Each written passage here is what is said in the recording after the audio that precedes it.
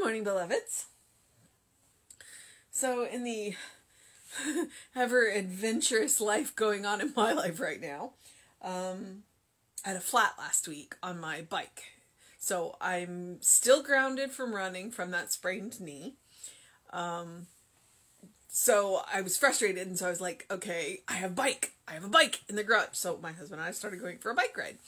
And um, it was hard. Uh, and I was like, I don't understand how people bike for 150 miles. This is so hard. And my neighborhood's relatively flat. So I was like, I'm not even dealing with hills. And I was like, it's so hard. And then, um, of course, we were at the furthest point away from the house in, in the ride, and my tire went flat. So I was like, okay. Now, fortunately, we have a bike barn um, just, you know, literally a mile down the road. And so my husband on his day off on Friday took my and he didn't tell me this until today, but he took my bike down there. They replaced the inner tubes and apparently my uh, he used words that I don't even know about the bike. Uh, but there was a problem with my chain. And so so it got oiled and or greased or whatever and they adjusted the chain and they adjusted something else and they replaced the inner tubes on the tire because you know the tire was flat. Um and so we go for a ride this morning and i almost ditched him. Like i was riding so fast because my bike was it was amazing. I was like oh this is why people ride for 150 miles now. And of course we're almost at the furthest away point of the ride, and his tire goes flat. and he was like, I was like, no, no, no, no, no, no, you will damage the rim. You need to walk it home. Do you want me to walk with you? And he's like, no, go ride. Go ride, because clearly you're having fun. So uh, he let me go and ride because I'm the crazy one in the relationship. I'm the one who's like got to go exercise. Yeah, I'm the one that's going for the run and going for the walk. He goes along and he enjoys it, but he's not the one who's going to get up and say, "Let's go." That's me. So he's like, "No, go get it out of your system." So it was great fun, and I get it now, and I'm just like, "Oh, this is epic and amazing." I get it now. Um, I have an Eddie Bauer bike that I bought a hundred years ago, and I bought it on clearance so I didn't pay that much for it. And it's like a seven speed. Not that I have any idea what any of that means. But, um, and it's purple.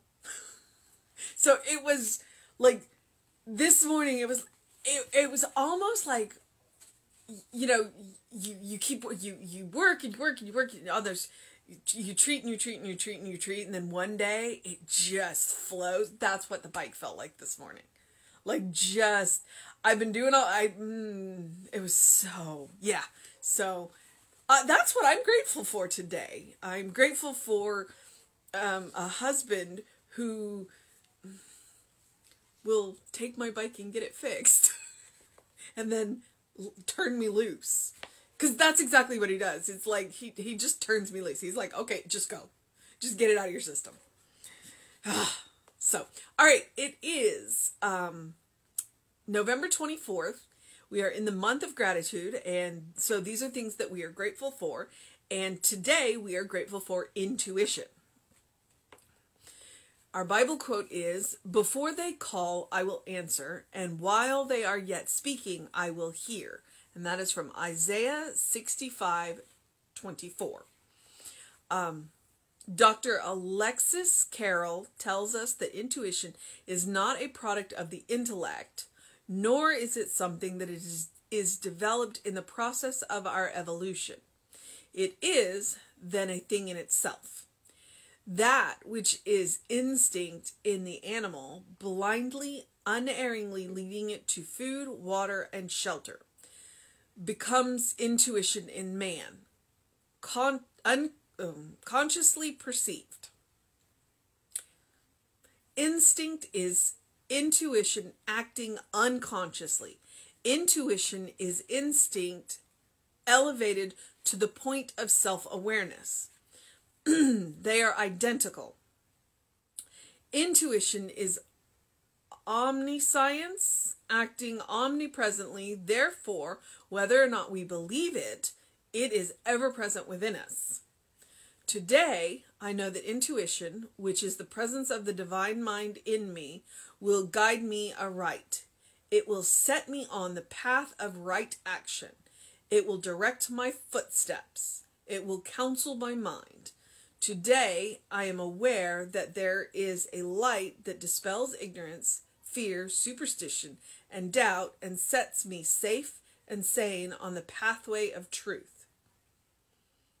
Okay, and from the Science of Mind text, the mind that we discover within us is the mind that governs everything.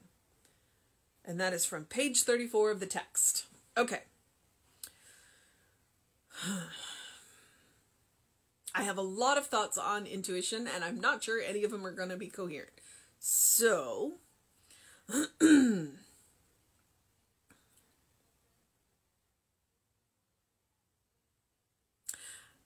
and honestly, I'm not sure what the Bible quote has to do with intuition. Other than it it may be Ernest Holmes pointing out to us that intuition is a gift from God or a gift of the spirit. Um, intuition is an an instinct has nothing to do with it, the intellect. I would say that it probably has something to do with wisdom. Um, because I think and wisdom is knowledge applied. So, not directly related to the intellect, but the more we exercise our intellect, the more experience we have, the more we are, the more likely we are to trust our intuition. Um, our brains are these amazing, and I'm going to use the word computers. Um, they're these amazing organs that have the ability to filter through just amazing amounts of information to come up with an answer. Uh, look at whatever subject you're passionate about. I'm not going to say good at good at, but whatever you're passionate about. Um, anything. And just think about all of the information that you know about that and how readily a little bit of that information will come into your mind. That's how amazing that organ in your brain is. And that's one of the reasons why I get so about um, mental illness, about depression and anxiety and all of that, because this is an organ and it works so amazingly. And then occasionally it doesn't.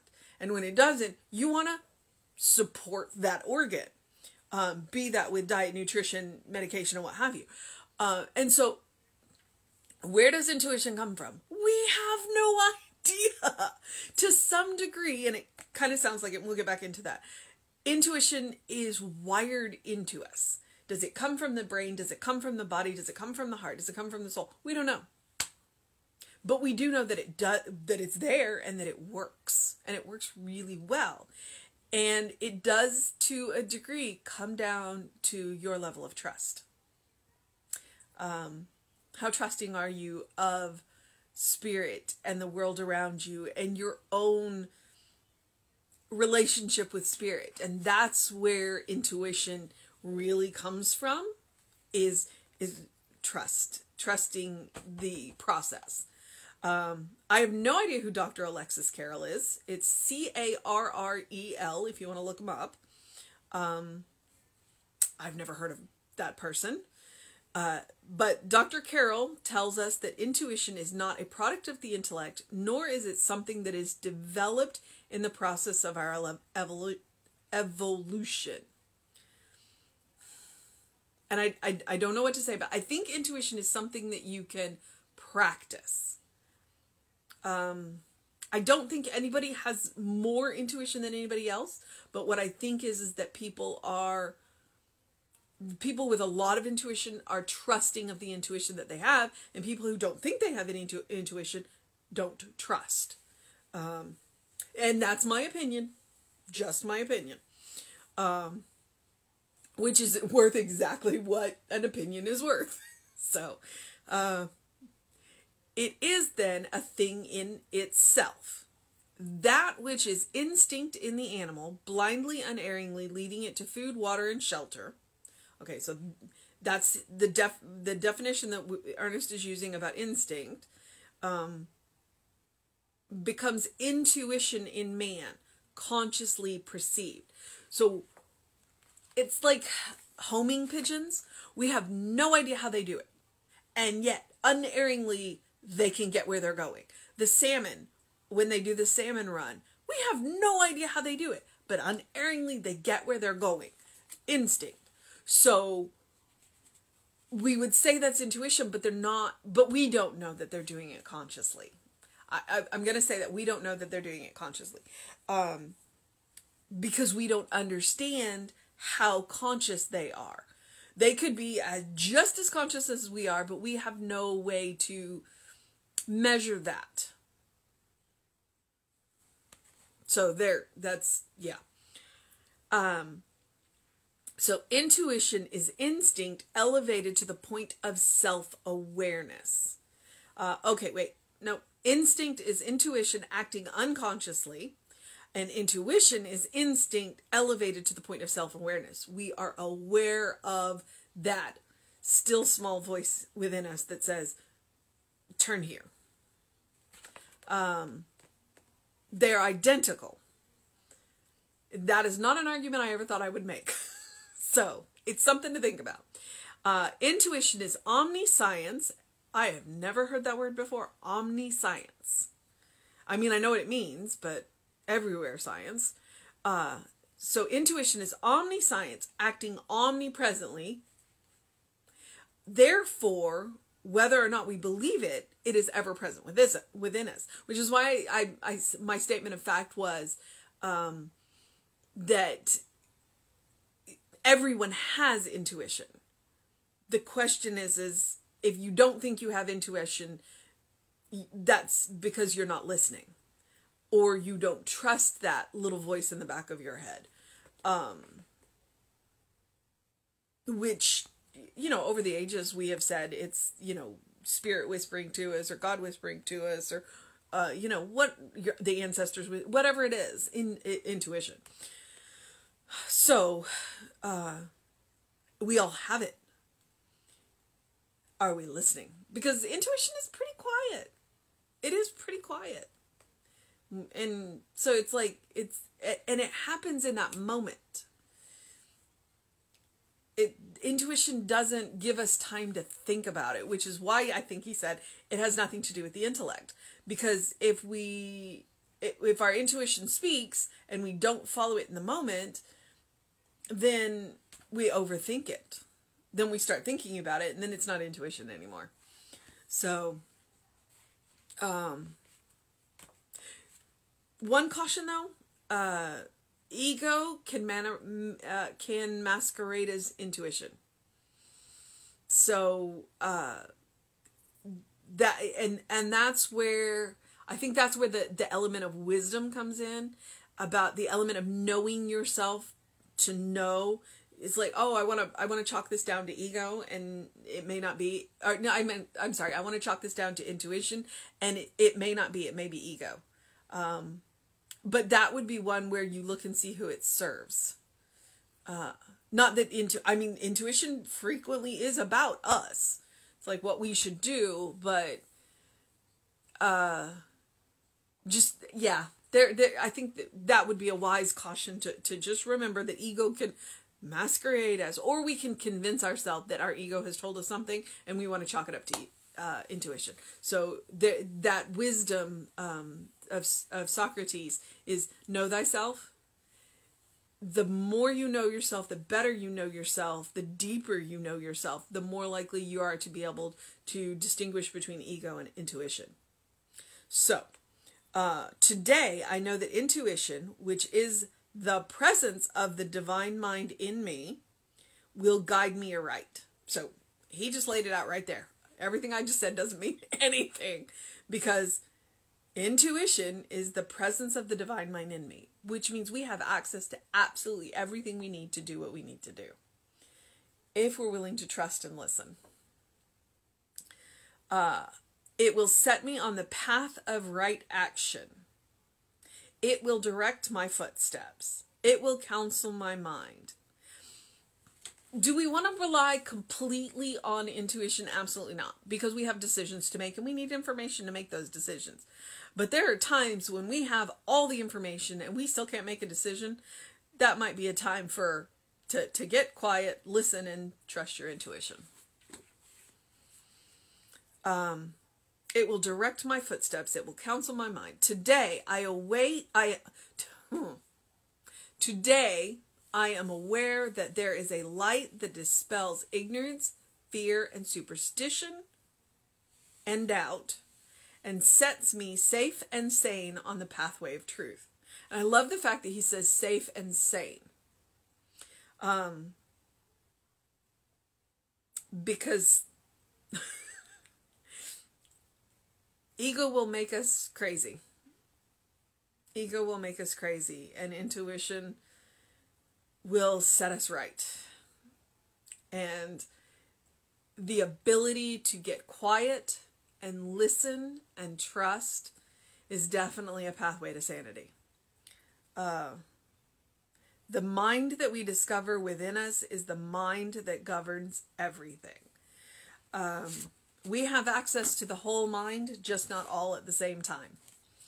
Uh, we ha- we are a this mind is a finite resource and in that finite resource it will uh, it can't hold all of the mind it can't hold all of the information but if we are willing to relax and trust we will get access to exactly what we need exactly when we need it via instinct but it's a practice just like anything else. It is a muscle that we have to exercise. Um, it is muscle memory. It's about learning to trust. And it is about trusting spirit. It is about trusting God. Trusting that the information that you need will be available when you need it. All right. Um so that is intuition. I it, it, it's kind of a it, it's kind of a funny story for me that I came into science of mind out of the psychic community. That's where I came from. So I already believed in and trusted instinct. I just or sorry, intuition. I just needed to know where it came from and that's how I landed in science of mind. Um literally I, I turned to a friend of mine and said, "I have got to find God." And she said, I know this place you can go. Uh, and Reverend Jesse has been an awesome guidepost. So, I'm going to move into the process of my day. I'm going to encourage you to do something loving for yourself, do something kind for yourself, do something compassionate for yourself. And I will encourage you to do what I did, well, what my husband did for me. If something is hard, then maybe something needs to be greased, replaced, or fixed. Uh, and that can be within you too. That can be a belief, that can be a practice, that can be, you know, an exercise. If it's hard, then go back and look at the process because if it's hard, it's not working right. And you may be able to figure it out. Um, would I have known that my chain was a problem? No. But we took it to an expert and they said, Your chain is a problem. And it's amazing now. So that can be taking taking yourself in for repairs can be a loving, kind, and compassionate thing that you can do for yourself. So, all right, uh, just gonna use my bike metaphor there. Um, but it is fantastic out there right now. I mean, it's a little damp, but you know, open your windows, get some fresh air, do something to engage your mind and your body, um, and do what you need to do to make it a fantastic day.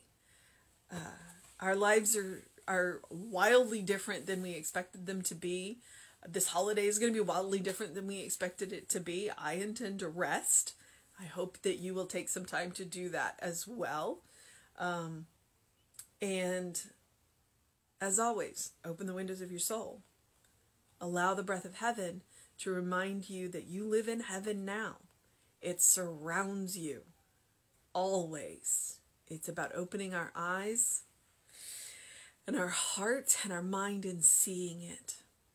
So remember that you are a beloved child of Spirit in whom Spirit is well pleased. Always. That is the state of grace that we live in. It's up to us to become aware of it. So I'm going to remind you that Reverend David will be on with you around 5 p.m. today. I will be back with you at 9 a.m. Have a wonderful day, beloved.